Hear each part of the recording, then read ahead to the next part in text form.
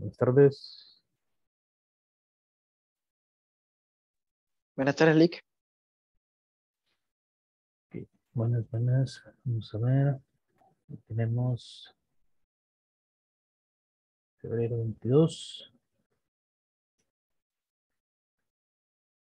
Y eh, hace poco, hace unos escasos minutos, tuve una eh, pequeña reunión para eh, saber lo del aula y pues eh, ya lo tenemos. El examen del jueves, que habíamos quedado de 3 a 5, se realizará en el aula eh, aulas 102, eh, bueno, que nos vamos a quedar de ver en el aula 102 del F1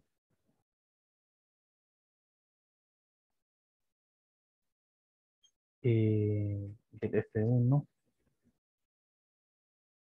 Y pues aquí lo importante es que eh, vamos a ocupar llegar un poquito antes, eh, sobre todo para fines de control y empezar eh, en el momento exacto. Entonces, eh, lo recomendado según los protocolos es llegar media hora antes. Entonces, aquí estaríamos diciendo llegar, es decir, yo lo voy a estar recibiendo eh, alrededor de las dos y media. Se pone esa hora por evitar cualquier tipo de retraso, ¿verdad? Por si llegase a suceder, pues no le afectase.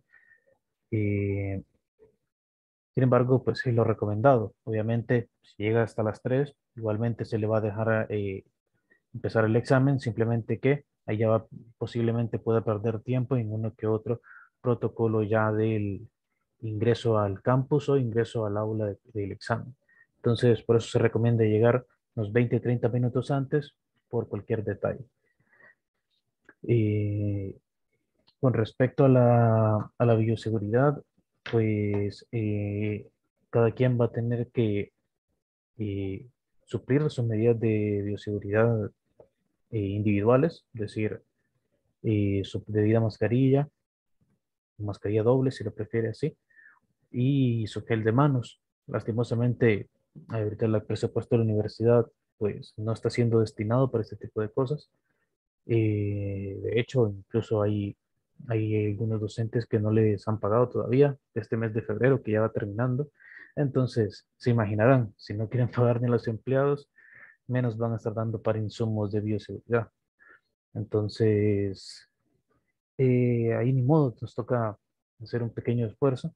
Igualmente, creo que cada uno cumple sus medidas cada vez que sale. Entonces, eh, eso, procuren llevar cada uno sus materiales, es decir, no tener que pedir prestado porque eso fomenta el contacto y ya saben que cualquier tipo de contacto puede resultar en una consecuencia que no deseamos, que es que alguno de ustedes quede enfermo, ya sea eh, grave o levemente, no deseamos en ningún momento eso. Entonces, tomemos todas esas precauciones, por favor, y lleguemos un poquito antes para evitar cualquier detalle y aprovechar lo, lo mayor posible el tiempo. Y bueno, en, principalmente es eso, ¿verdad? Lleve su, eh, su carnet de vacunación y eh, forma 03 o carnet, dependiendo si tiene el carnet o no. Si no tiene carnet, lleve su forma 03. Eh, y pues para el examen, eh, claramente usted puede utilizar cualquier material no electrónico y el único material electrónico disponible sería una calculadora eh, no configurable, es decir, una calculadora sencilla.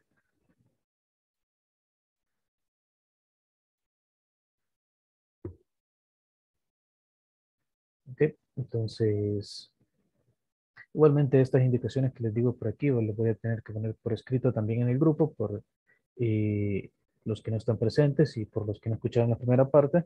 Entonces, igualmente iba a estar bien especificado o ampliado aún más en caso que haya omitido algún detalle en este momento.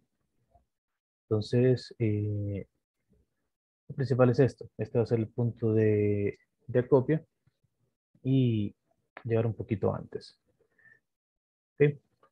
Entonces, dicho esto, podemos continuar donde nos habíamos quedado. Estábamos estudiando el contenido de lógica. Vimos que era la que es una proposición. Analizamos que hay diferentes tipos de proposiciones, proposiciones simples, compuestas, y que estas proposiciones compuestas consisten en diversas proposiciones simples que se conectan a través de objetos llamados conectivas lógicas, dentro de las cuales empezamos a estudiar o, eh, logramos discutir acerca de dos tipos, las unarias y las binarias, eh, y pues vimos las principales, que eran la negación, conjunción, disyunción y el o exclusivo. Entonces hoy vamos a poner atención a dos conectivas más y son de las conectivas que más se suelen utilizar en, en resultados acerca de matemáticas, que son las implicaciones y las bicondicionales. Entonces, esas son las otras dos conectivas lógicas que nos hacen falta.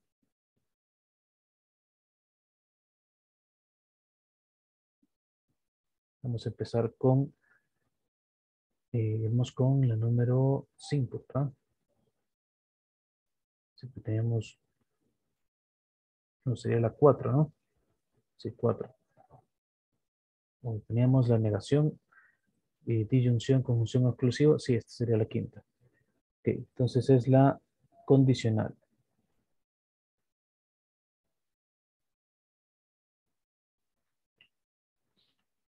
Ok, entonces eh, el enunciado o proposición o la proposición condicional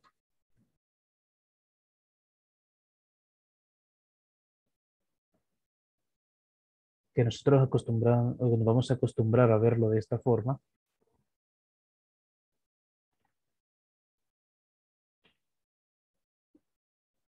es la, o representa, mejor dicho, la frase,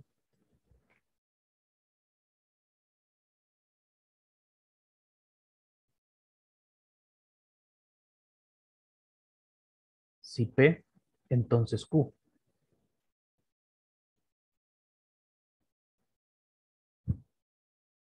Y pues esto se lee como P e implica Q. Al menos así lo leo yo. P implica Q. Hay diversas formas de, de mm, expresar lo que esto significa, pero usualmente lo leemos como P implica Q o directamente como si P entonces Q. Eh, y esta proposición nos, esta proposición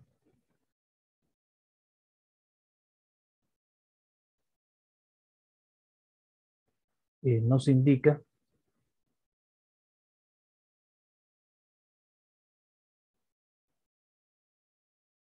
que la proposición Q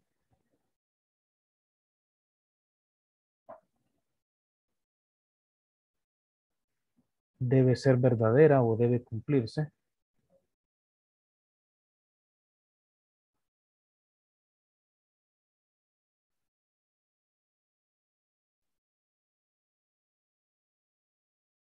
Y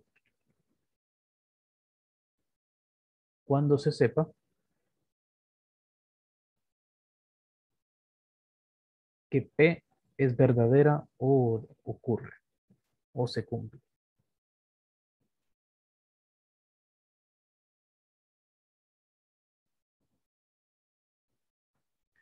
En otras palabras, este enunciado condicional solo nos dice qué tiene que pasar cuando P es verdadera. Cuando P es falsa no nos dice nada. Pero cuando P sucede, Q debe de ser verdadero. O sea, cuando P sea verdadero, Q debe de ser verdadero. No hay otra opción. En cambio, cuando P sea falsa, no dice nada acerca de Q. Q puede ser cualquier cosa. Es por ello que la tabla de verdad de un condicional es la siguiente. Tenemos dos proposiciones, P y Q, y el, la condicional.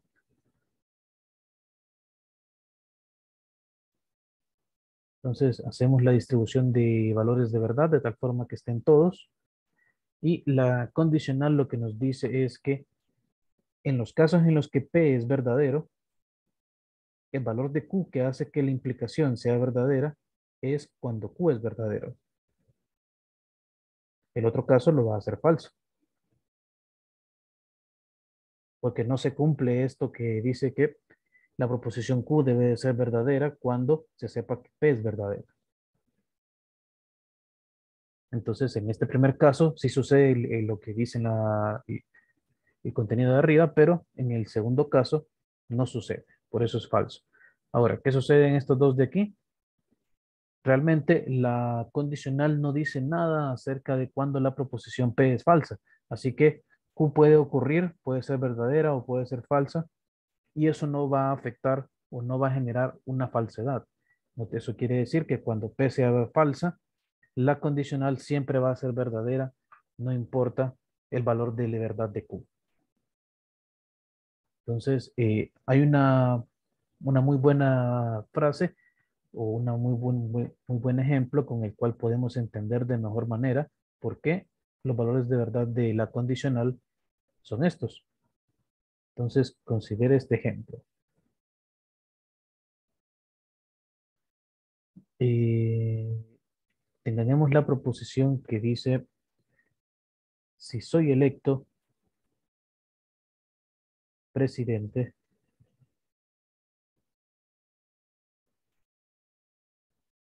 reduciré los impuestos.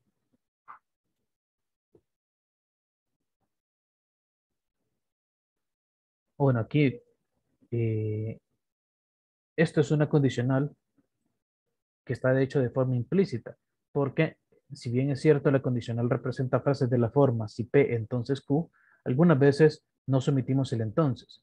Así como si yo le digo, si usted llega temprano, va a tener un buen, un, buen asiento. Claramente estoy, eh, estoy diciendo el entonces de forma implícita. No lo digo con palabras, pero usted sabe que es la conclusión. Entonces, si aquí intrínsecamente va un entonces implícito. Eso sucede bastantes veces.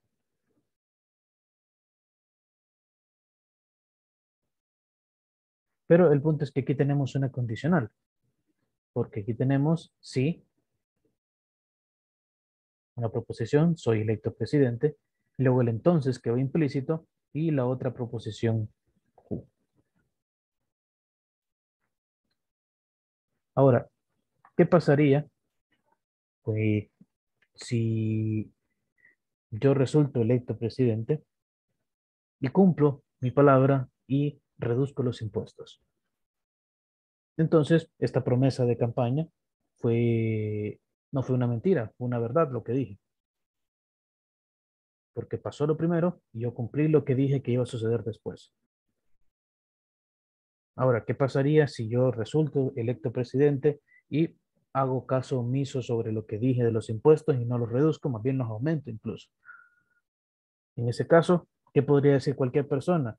No, ese es un mentiroso. No dijo nada acerca o no hizo nada de lo que dijo que iba a cumplir. Entonces, si soy electo presidente, es decir, P es verdadero y no reduzco los, los impuestos, es decir, Q es falso, el resultado es que la frase resultó en una mentira o en una falsedad. Entonces la frase fue falsa. ¿Ok? Ahora, ¿qué pasaría en los otros dos casos si yo no soy electo presidente? Entonces usted esperaría de que, no, de que no se reduzcan los impuestos. Es decir, usted esperaría directamente la última posibilidad, que falso. Si falso, entonces falso. Y pues eso, sería, eso sería algo cierto. Definitivamente no me equivocaría yo si, o, o no estaría diciendo una falsedad si al no ser electo presidente no se reducen los impuestos. No estaría mintiendo ahí porque yo puse una condición para que los impuestos se reduzcan. Y como la primera condición no se cumplió, entonces es normal esperar que tampoco se cumpla el resultado. Entonces, en ese caso, la frase sería verdadera, que es este último caso de aquí. Pero, ¿qué pasa si yo de repente no soy electo presidente, pero tengo unas influencias en el mundo y de la política? Y logro convencer a quien sí resultó electo presidente de que reduzca los impuestos. En ese caso, pues yo no estaría mintiendo con, con la promesa de campaña. Porque yo solamente, en realidad aquí, yo solo estoy diciendo qué va a pasar cuando P se cumpla. Cuando P no se cumpla, yo no dije si iba a eh, hacer que se reduzcan o no los impuestos. Yo no lo dije. Entonces no puede decirse que dije algo falso porque no se cumplió la primera parte. Así que usted puede esperar lo que sea de Q. Puede esperar que se reduzcan o puede esperar que no. Y la frase va a ser verdadera por simple hecho de que no estoy eh, o lo que dije no, tiene, no se está cumpliendo el principio. Entonces, en resumen, si la proposición P no se cumple, usted puede esperar cualquier valor de Q y eso no me va a hacer dejar como mentiroso en ningún momento. Porque mi expresión fue solamente del caso en el que fuese verdadero P. En el caso en el que fuese falso, yo no voy a quedar de mentiroso. Y si no quedo de mentiroso, significa que dije una verdad. Quizás no la verdad que uno esperaría oír, pero dije la verdad. ¿Ok? Entonces, eh, espero que tengamos pendiente o presente este ejemplo para cuando recordemos o intentemos interiorizar este concepto de condicional. ¿Ok? Entonces, ahora tenemos una situación aquí. Les dije que las condicionales están presentes en cada parte de matemática prácticamente casi todos los teoremas tienen implicaciones. Por ejemplo, mm,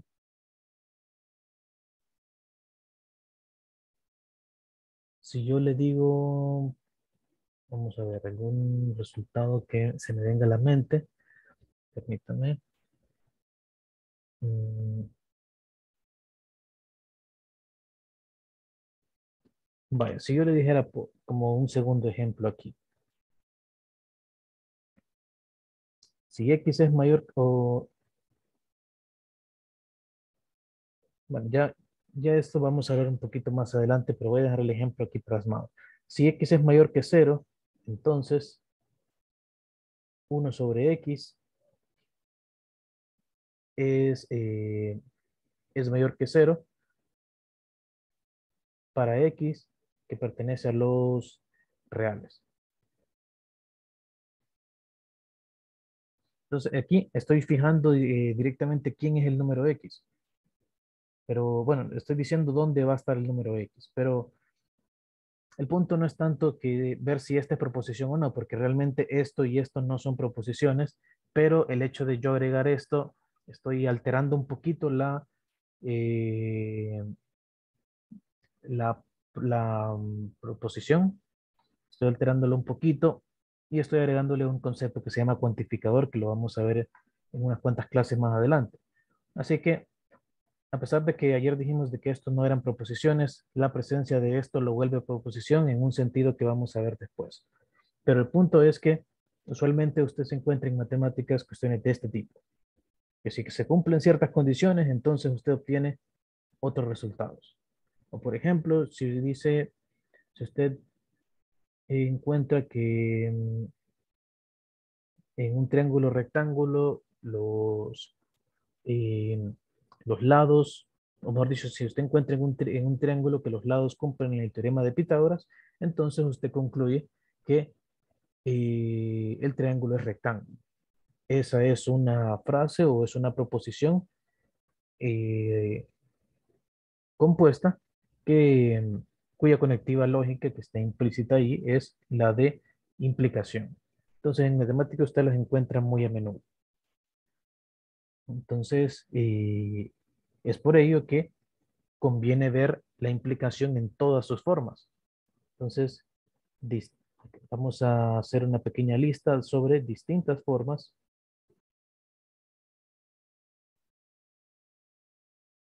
de la implicación.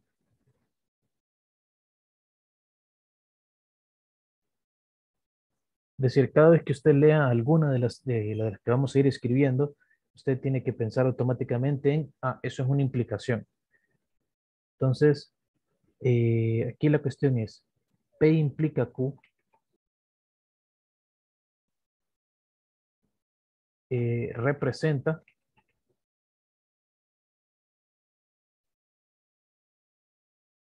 cada una de las siguientes frases.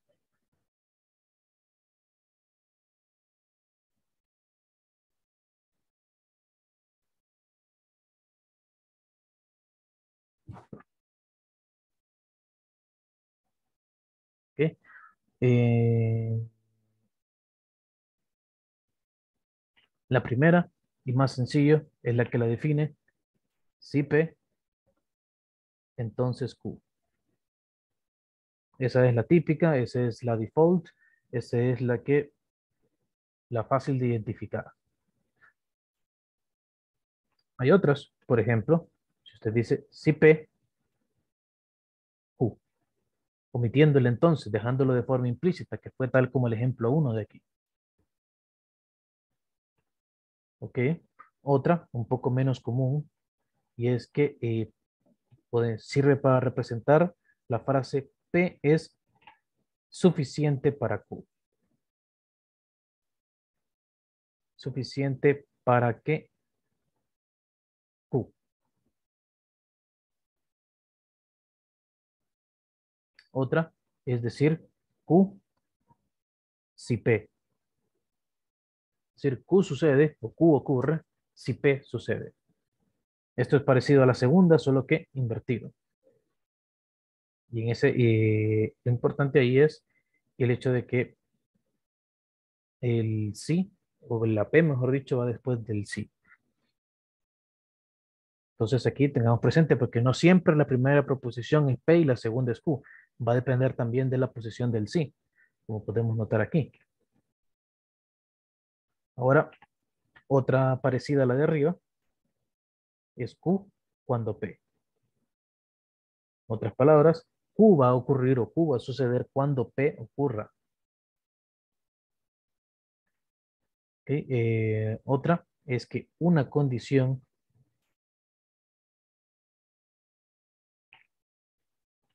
necesaria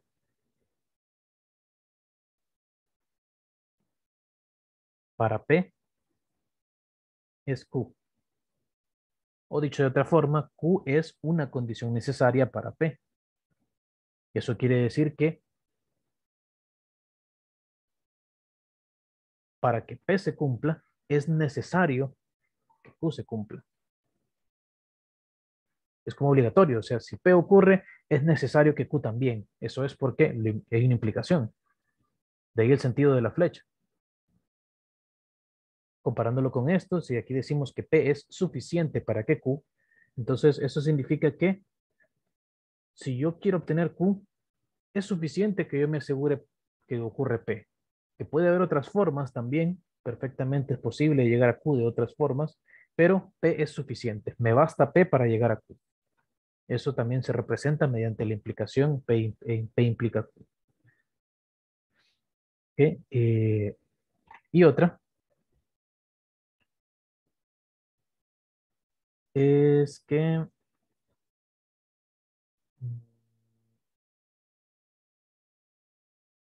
Vamos a ver, solo permítanme que está, me parece que está un poquito mal redactada, pero de revisarla.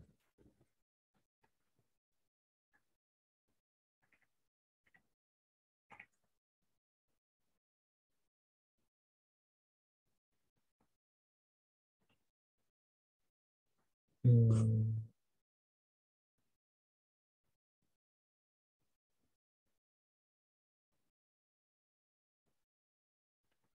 Ok, entonces, la otra sería no Q a menos que, P. Entonces, esta es otra forma de decir que P implica Q. Es una de las más extrañas, por decirlo así. No Q, decir no va a ocurrir Q a menos que Q, a menos que P ocurra. Entonces, es un poquito más extraña de comparar, pero también significa eso. Y eh, tenemos otras más. Eh, por ejemplo, P implica Q, es la que prefiero decir. Otra es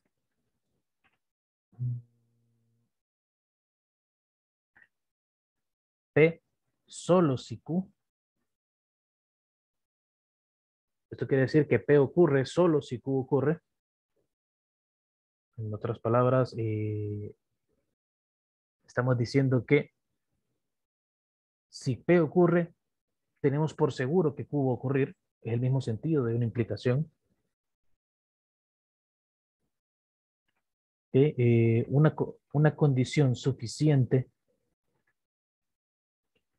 una condición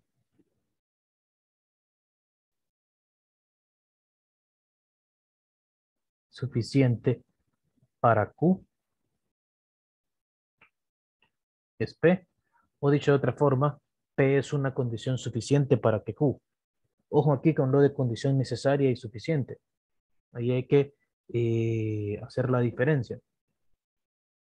Condición necesaria es algo que tiene que ocurrir necesariamente luego de que algo ocurra y condición suficiente es algo que basta con que ocurra para obtener este resultado.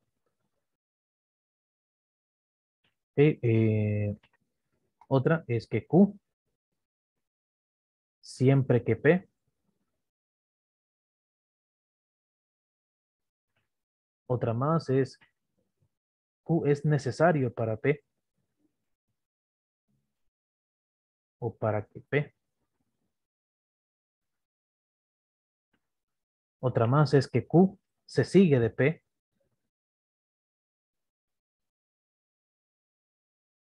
O interpretándolo de otra forma, podríamos decir que esta última frase dice que Q es lo que se sigue o es el resultado o es lo que se concluye a partir de P. Y la última sería Q provisto que P. Igual que la anterior, solo que con otra palabra. Entonces, si usted lee cualquiera de estas 12 eh, posibilidades, estamos hablando de una implicación.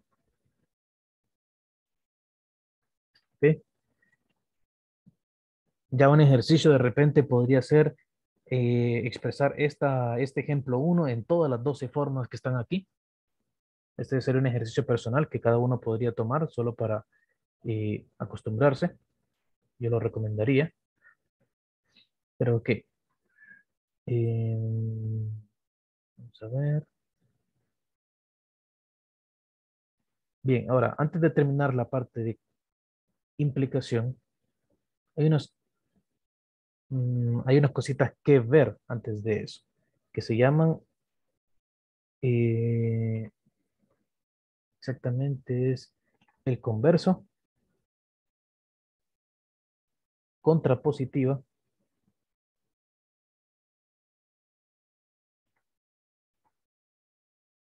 y la inversa de una implicación.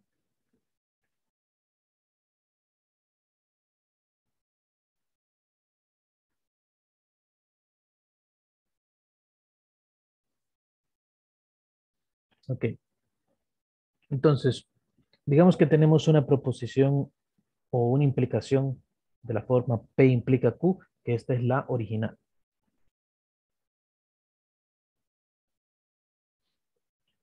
Entonces, eh, el converso de esta, de esta implicación, que P implica Q, el converso es simplemente intercambiar P con Q.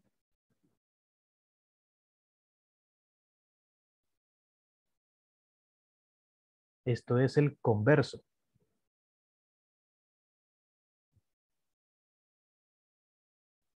O la conversa. Ahí simplemente es y cómo uno lo toma. Entonces, el converso o la conversa de P implica Q. Vamos a decir conversa en realidad, porque como es una implicación una, entonces tendría que ser conversa. Y de ahí tenemos la contrapositiva. Esa es no Q implica no P. Esto es como la conversa, pero con signos de negación o con eh, conectivas de negación en cada una. Entonces, eh, esto es la contrapositiva.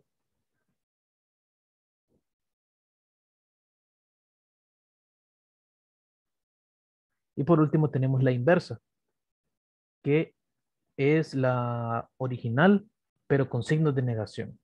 O sea, sería no P implica no Q. Esta es la inversa. Ahora, la razón de ver estas posibilidades es porque hay relaciones entre ellas, claro. Sucede que eh, en un cierto sentido, que en la siguiente clase vamos a definir, eh, en un cierto sentido, que en la próxima clase vamos a definir, la original con la contrapositiva son iguales, es decir, representan exactamente lo mismo. Como les digo, lo de iguales es como entre comillas porque vamos a definirlo mejor en la siguiente clase, pero quiero que se queden con esto, que lo original con la, con la contrapositiva están muy relacionados entre sí. De la misma forma, la conversa con la inversa también están relacionados de esa misma forma. Y por eso los puse así en vertical. Y es que en forma cruzada eso no se cumple. Es decir, la original no eh, es muy diferente al converso y a la inversa. Y la contrapositiva es muy distinta a la conversa y a la inversa. El problema es que mucha gente los confunde. Porque, por ejemplo,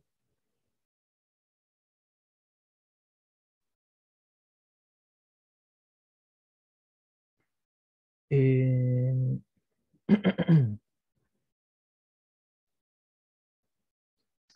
si yo digo, si usted estudia,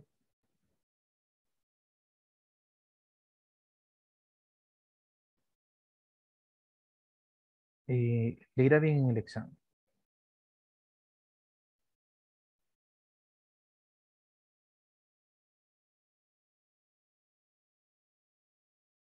Claramente que tenemos un si P, entonces Q. Ahora, hago una pregunta. ¿Significa esto o es lo mismo esto que si usted no estudia?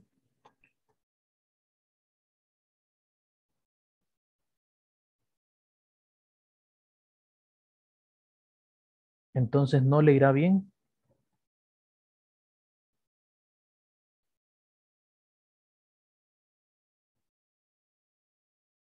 ¿Significan las dos lo mismo?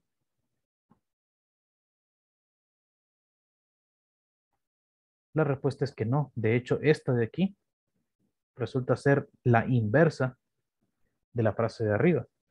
Y no necesariamente son iguales. De hecho, eh, la situación es bastante simple. Si usted estudia, le irá bien en el examen. Eso es una proposición y ya. Pero perfectamente puede suceder que usted no estudie, pero le vaya bien en el examen porque la clase la sintió muy fácil, entendía todo durante la clase o ya lo había estudiado en algún otro momento entonces usted no ocupó estudiar, pero le fue bien en el examen. Entonces, eso lo que nos dice es que estas dos no representan la misma frase, no están dando el mismo mensaje.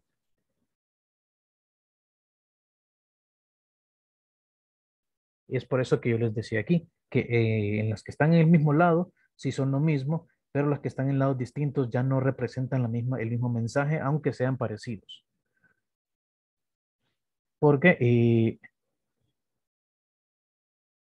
por otro lado, si comparamos esta frase de aquí con esta otra, que dijera, eh,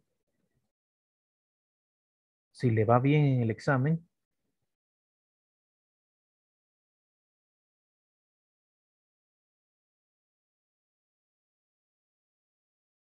usted estudia. O estudió, vamos a decir, para que quede semánticamente correcto. Usted. ¿Ok? Esto tampoco dice en el mismo examen, el, mismo la misma frase. Porque tal como les dije antes, es posible que usted le vaya bien y no haya estudiado porque usted ya se sabía el contenido, ya lo sintió muy fácil, etc. Entonces, estas dos no dicen lo mismo. Sin, em, sin embargo, esta de abajo sí dice exactamente lo mismo que lo de arriba.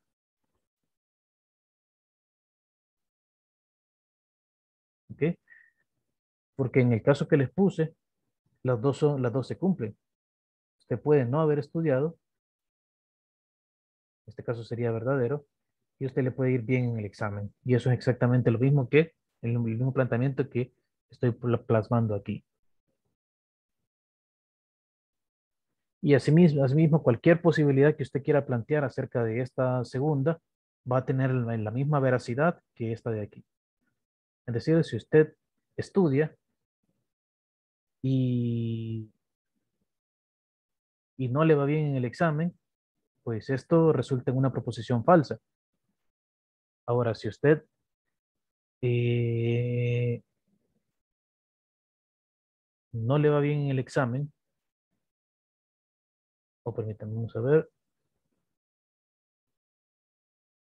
Mm, es que bueno, esta de aquí es Q implica P. Entonces la que yo le dije que es si usted estudia, entonces no P es falso, por lo tanto no P es falso, entonces P es verdadero. Y a usted no le fue bien en el examen, es decir, no Q es verdadero, por lo tanto Q es falso. Y si eso lo trae acá, eh, arriba, eh, Note que en esta, eh, en esta frase de aquí usted tiene falso implica verdadero. Eso según la tabla de verdad, eso es verdadero. Y acá arriba tiene falso implica verdadero. Lo cual es verdadero también. En cambio aquí verdadero implica falso, eso es falso. Entonces a eso es lo que me refería yo, que usted puede, eh, cuando usted haga una selección de valores de verdad para P y Q, estas dos implicaciones, la de aquí abajo y la que puse aquí a la derecha, van a tener el mismo valor de verdad porque son iguales o son lo mismo. Sin embargo, va a diferir de la otra, que es la, la original. ¿Ok? Entonces, vamos a seguir trabajando con esto de contrapositiva, conversa y todo eso un poco más adelante. En este momento era más que todo para conocerlos. Pero esto de que son iguales y todo eso va a, trabajarse más cuando ya tengamos bien definido qué es esto de ser igual. Entonces, de momento solo quedémonos con identificar cada uno. Entonces, por último, solo vamos a definir la sexta y última conectiva, que es la bicondicional.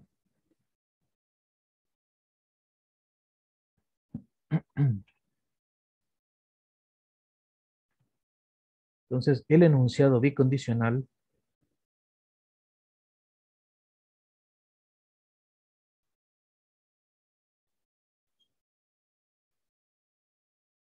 que se representa así, es como la condicional, pero con la flecha en ambos sentidos.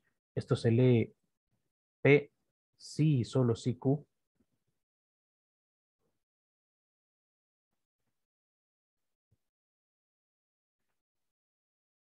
Bueno, de hecho es justo lo que representa.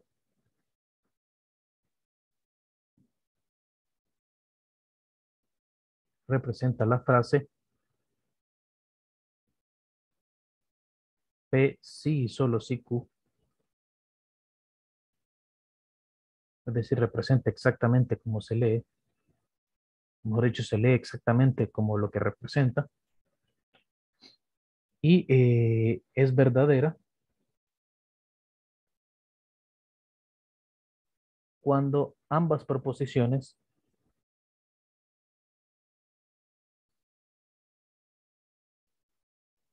P y Q tienen el mismo valor de verdad.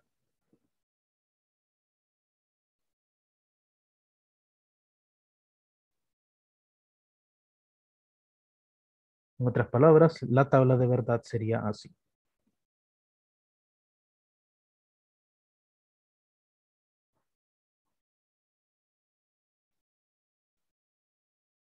Tenemos P y Q de forma estándar y P sí y solo sí Q.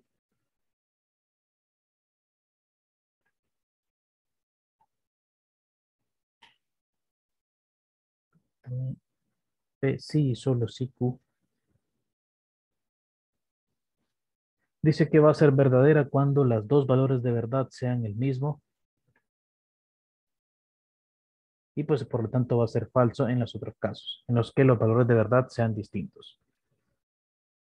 Entonces, si se fijan detenidamente, esto es prácticamente como el O, el exclusivo, pero al revés.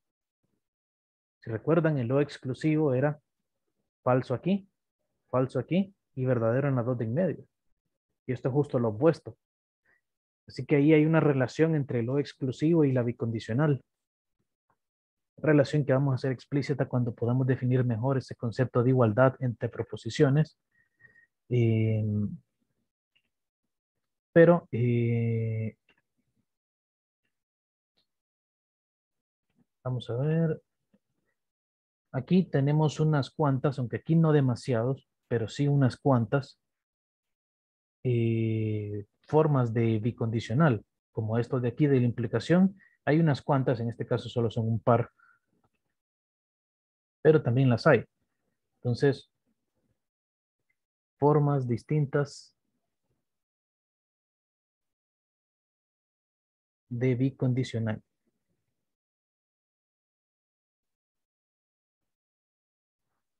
Entonces la primera es P, sí y solo si Q.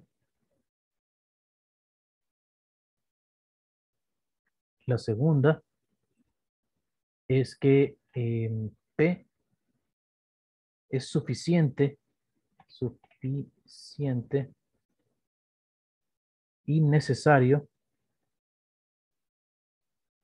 para que Q y eh, podemos agregar una más que sería que P ocurre exactamente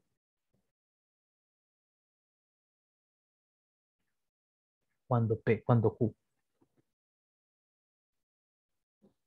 Entonces aquí el exactamente significa de que no, eh, no va a ocurrir fuera de ese, de, no va a ocurrir fuera de, de cuando Q ocurre. Es decir, que P solamente va a ocurrir cuando Q ocurra y que va exactamente a ocurrir cuando Q ocurra. Es decir, que en caso de que Q no ocurra, P tampoco. Entonces son prácticamente o están prácticamente conectadas de forma que no se pueden destrabar una con la otra. Si una sucede, la otra también. Si una no sucede, la otra tampoco.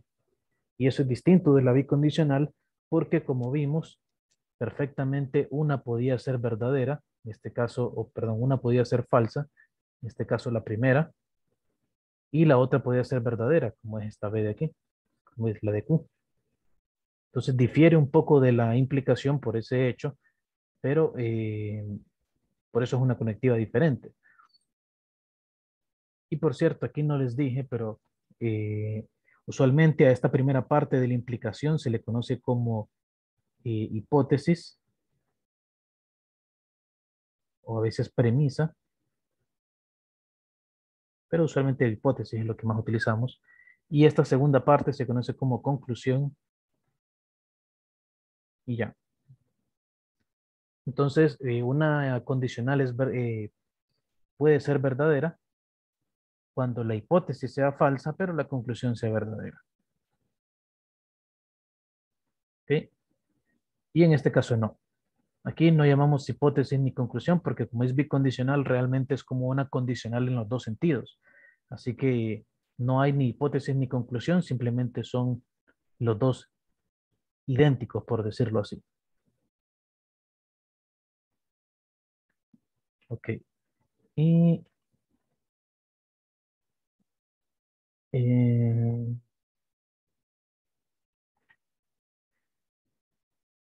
vamos a ver.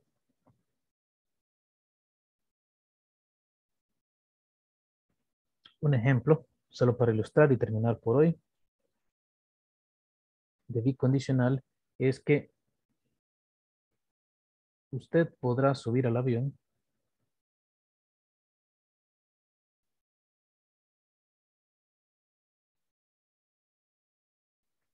Sí, solo sí. Compró un ticket de vuelo.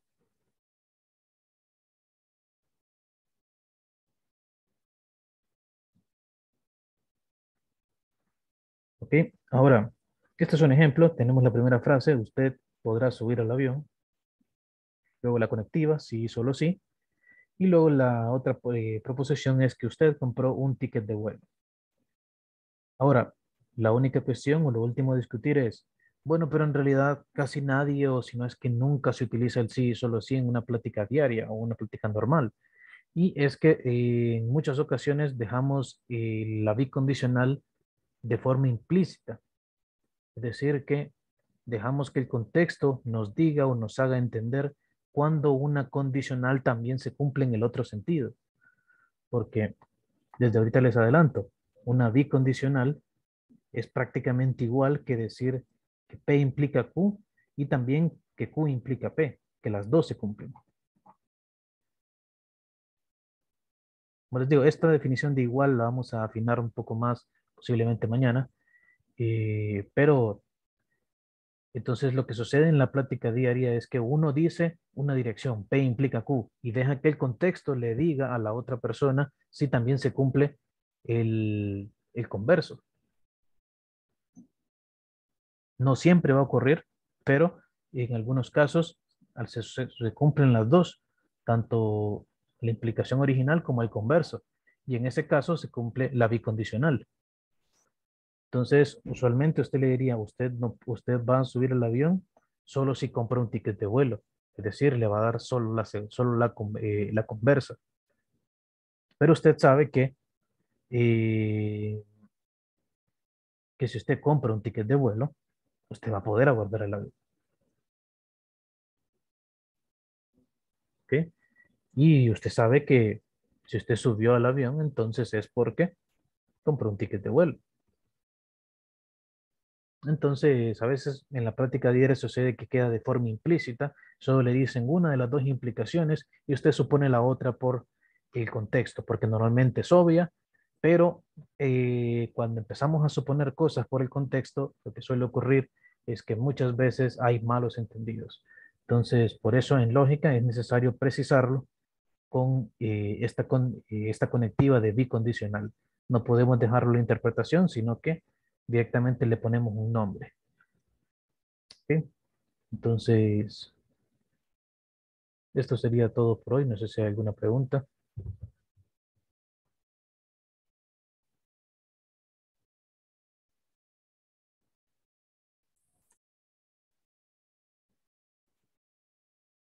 Ok, entonces quedamos por aquí. Solamente por si no lo, por si no lo pudo ver, entonces, lo que se, a lo que se quedó, lo que me contactaron los, el jefe, es que el examen a la hora acordada, en la hora 102 del F1, y pues habría que llegar un poquito antes, de 20 a 30 minutos, de forma prudencial, para eh, así garantizarle todo su tiempo de examen. ¿Ok? Y los demás detalles los voy poniendo en el grupo y más tardecito. ¿Ok? Eh, y con la tarea, pues eso se los he ido comentando durante la semana, pero eh, a partir del día de examen hasta el domingo van a tener un apartado en el campus para eh, poder subir los ejercicios que envié por el grupo la, la semana pasada.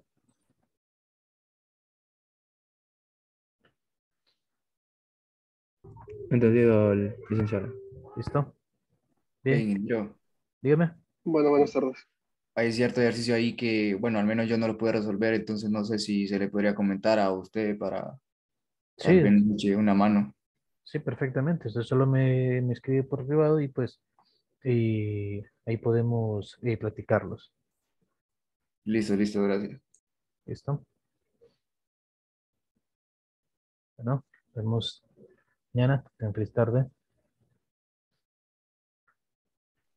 Muchas gracias, Lick. Feliz tarde. Gracias.